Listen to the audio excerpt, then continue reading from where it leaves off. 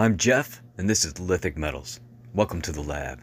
Today I'm going to pour this beautiful 5 ounce gold bar. So let's do it.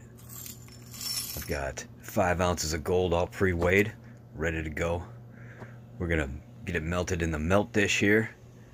And I'm using an oxyacetylene torch. If you're familiar with those, that's a cutting tip. And uh, a couple people have asked me why I use that tip just what I'm used to. Here's for the first pour here. Kind of splashed out. Lean forward.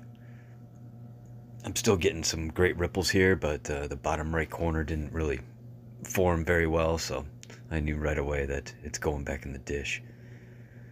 Alright, we'll get it heated up again. Get, get that mold up to temperature. And here we go flopped out again, kind of sprang forward and misformed that front right corner again. Still was fine. Was, I got some great ripples out of it. Looks gorgeous. It wasn't. It just wasn't fully formed in the mold. So it's going back in, but I did admire it. It looked nice. All right, we'll give it another shot here. Get that mold nice and warm. After that second bar, that mold is definitely up to temperature. It happens quick, but I do shoot it with the laser every once in a while and check the temp. Alright, here we go. Another nice pour.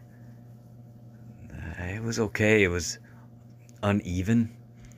And the cooling pool is kind of sloshy now, so I'm keeping the torch closer to buy me some more time to get control over it. And I'm losing it, and it's overheated, and that wasn't it.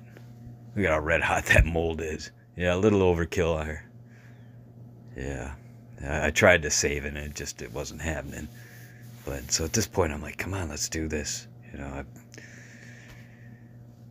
you don't always expect to hit a home run right on your first swing, but after a few whiffs it gets old. Here we go. Well, I slowed it down a little bit, but you can see it like pours, it pulls itself out of the dish.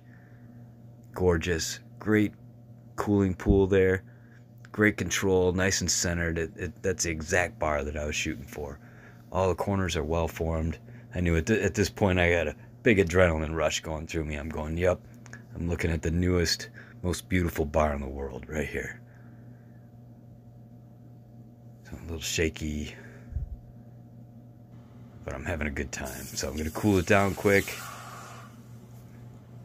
Ah, it cools down quick cools down fast, but I dip it a couple times, buy myself a few more seconds, let that heat dissipate through that water. Goes right to a paper towel and to the scale to double check it. Nine one thousandths of an ounce over. That's exactly where I wanted. I like them just a little bit heavy. All right, I size it up, make sure I know which direction I want the bar to be. It's usually pretty obvious. I, I get this first mark. Alright, after that's done, I'm going to do the symbol for gold up in the right top corner.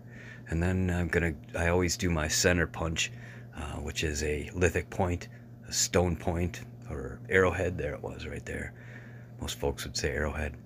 Um, I'm a collector of Native American artifacts. I, I loved Flint Knap. It's one of the reasons I got into metals and, and, and stone and everything else. So beautiful. Just want to double check it there, get some reflections out of there. It's like looking into a gold mirror. So, all right, I took it outside. It's a cloudy day. Uh, so it's not the best lighting, but we get to see what the bar looks like. Some good ripples on there. It is a beaut. There's that lithic point in the center. All right, number 16. It's my 16th 5 ounce gold bar. I hope you like it. I put the COA in a plastic bag, but more importantly, I have the bar sealed in uh, vacuum sealed plastic. Now it's protected. Now I can handle it without freaking out too much. Uh, that mirror finish will scuff at the slightest touch. Just a tissue sliding across, it'll scratch it. So I like to get it protected. Now I can actually touch those ripples and feel that texture. There's the back. I often forget to show the back. Uh, but yeah, here we are. Feels great in the hand for sure. For sure. It's a beauty. Alright, I hope you like it. I'm Jeff, this is Lithic Metals, and I'll see you next time.